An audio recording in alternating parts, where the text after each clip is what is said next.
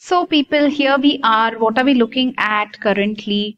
We uh, have started off with primary open angle glaucoma. We looked at what it is. We looked at the predisposing and risk factors. We looked at the pathogenesis of rise in intraocular pressure. Then we looked at pathogenesis of optic neuropathy.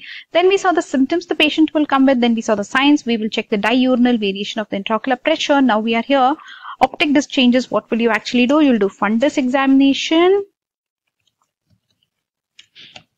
and after that you will detect some early glaucomatous changes, advanced glaucomatous changes and glaucomatous optic atrophy. These three things let us look at. So uh, now you're looking at the optic disc. Now what is happening to the optic disc? Early glaucomatous changes. First let's see there are six points here. So let's look at these six points. Vertical oval cup due to selective loss. So you will see vertical oval cup. This they don't like. This is a bad thing vertical oval cup you, they will see. We'll come to it. Then asymmetry of the cups. Between the two eyes, there is some asymmetry of the two cups. Difference more than 0.2 between the two eyes.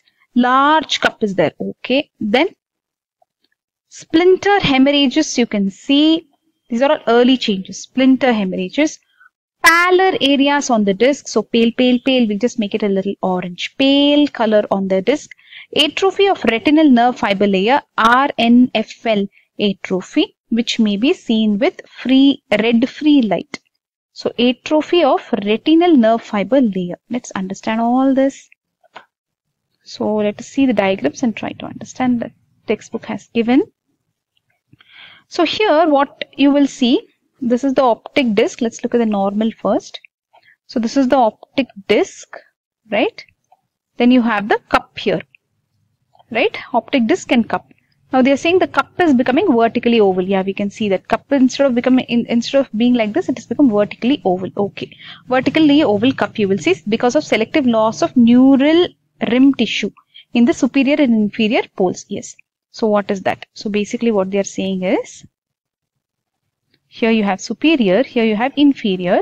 So superior inferior poles, the neural rim tissue is gone. So this red color is gone here, red color is gone here. So this cup which is there in the center, now cup is totally becoming vertically oval because superior neural rim and the inferior neural rim have got lost loss of that okay so vertically oval cup then asymmetry of cups um, uh, so in two eyes, whatever you are seeing, it is not at all symmetric. There's a lot of asymmetry between the two eye cups. Okay, difference more than 0.2.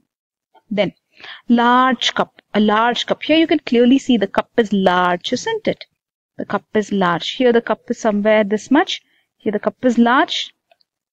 but overall, even this diagram itself looks large. Anyways, cup is large, 0.6 or more. See, normal cup size is 0.3 to 0.4 they have written here.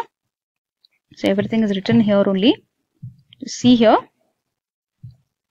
Normal cup is 0.3 to 0.4. Now cup size has increased to what? 0.6 or more in early. Early it is 0.6. Data it will become even more, more and more. Okay. Splinter hemorrhages may be present near the optic disc margin. Where is this? Splinter hemorrhage. Look at this diagram here. Whatever textbook has given. See this is normal, right? The one here you see is normal. So you can see the optic disc is kind of small, but here the optic disc and the cup, they look big, big, isn't it? See? Pretty big this one looks.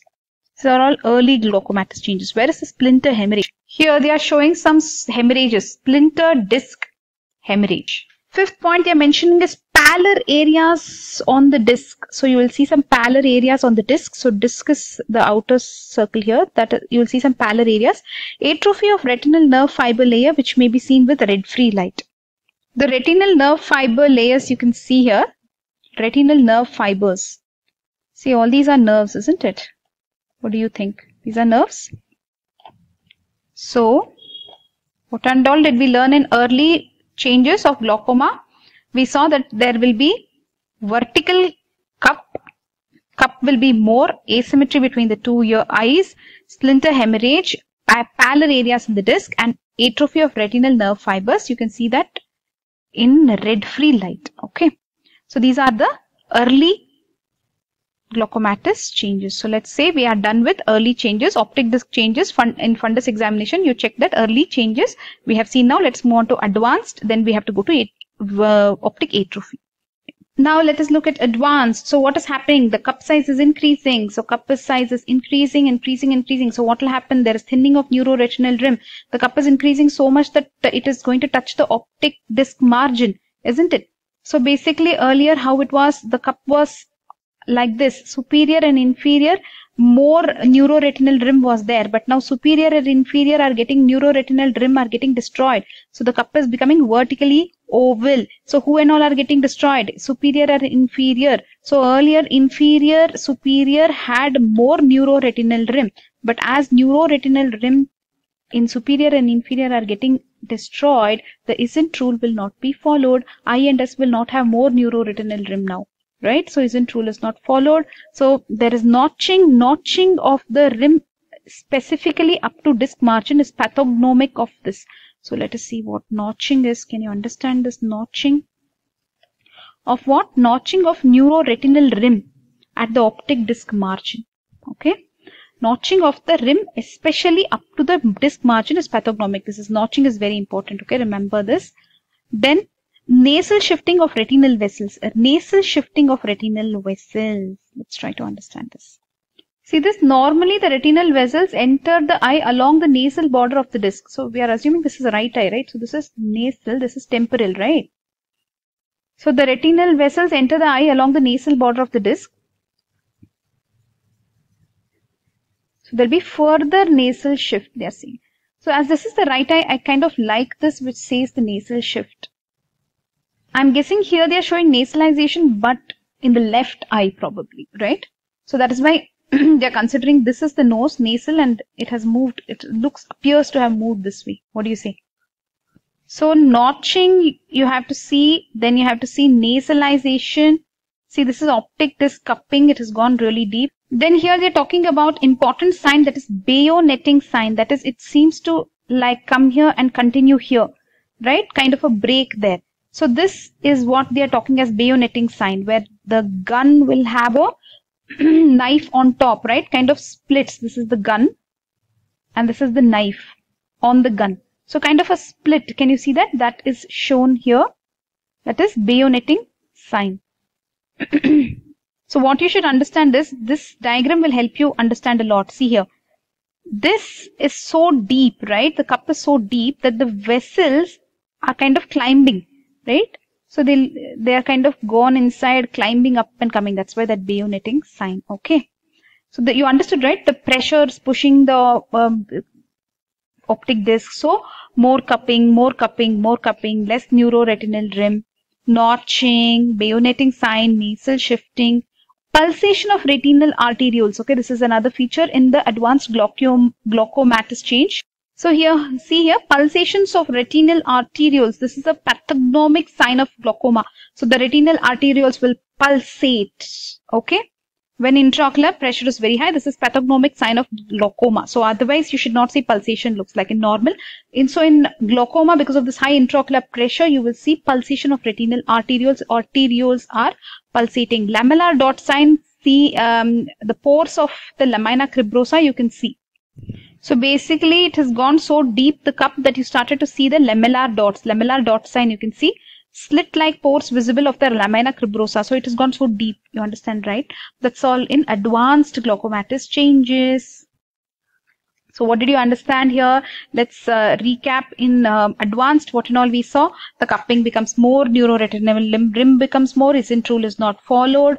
Then um, uh, what did you see? The lamellar dots you will start seeing nasalization, bayonet sign. Then some pathognomic things are notching. Uh, then uh, pulsations of retinal arterioles. These are all pathognomic, right? Did you understand? In advanced glaucomatous changes, what and all will be there. Now let us move on to last. What is there? atrophy. Now the last after this also, if you don't take care and patient is not treated, he will going to optic atrophy. So we are here, we are going to go to optic atrophy, advanced is done. So in optic atrophy, what will you see? Neuroretinal rim totally gone. Neural tissue is of the disc is completely destroyed. All you see is a cup, big cup, cup, cup. So optic nerve head, how does it look now? The optic disc, it appears white, deeply excavated. So this is how it uh, it has gone back because of the pressure. What do you say? Right? So this is how it's looking. See? Completely white, no neuroretinal rim that you that you can see. It looks deeply excavated. Why does all this happen? Same pathophysiology they've explained here. Mechanical forces, vascular factors. It's not getting proper blood supply. So now we are done with all the optic disc changes. So we're done with early, advanced, and optic atrophy. Now let us move on to visual field effects. What say people? Visual field effects. Let us look at. So till now, what and all we have seen what open angle glaucoma is, pathogenesis, why it happens, clinical symptoms we have seen, signs that intraocular pressure, that diurnal variation we saw. Then we have seen optic disc changes, early advanced optic atrophy. Let's revise. Early, what did you see? Early we saw that, um, I need to revise, wait. Okay, early we saw vertically oval cup, um, uh, uh, asymmetry between the two eyes, large cup 0.6, etc. 0.3 to 0.4 is normal. Now it's becoming 0.6. Splinter hemorrhages you will see. Then pallor in the disc, then atrophy of retinal nerve fibers. Splinter hemorrhage where we'll see early, early splinter hemorrhages. Then coming to advanced, we saw marked cupping, thinning of neuroretinal rim ISNT rule gone away, notching. Notching is pathognomic. So here you can see the notching of the rim, especially up to the disc margin right? There's a notch in the rim. Is that what they mean? Notching of the rim, uh, especially up to disc margin. Up to the disc margin, there is a notch, right? So disc margin is somewhere here, let's say. So it is notched up to the disc margin is pathognomic. So that becomes pathognomic of what? Glaucoma, advanced. Okay, then coming to nasal shifting of retinal vessels, there's an appearance of broken, right? We already showed you that broken thing here. So basically it looks like it is broken bayonet uh, sign, right? Then uh, pulsation of retinal arterioles is pathognomic. What and all are pathognomic here? Uh, the uh, notching, then the pulsation of retinal arterioles. Then lastly, what is the lamellar dot sign? You will, it's gone so deep that you will start seeing the lamellar dots. Okay, here. That is the advanced. Then we saw the uh, optic atrophy. Basically, cup has become entirety, full white disc no neuroretinal rim. So next we will continue with the visual field effects of primary open angle glaucoma. Bye bye.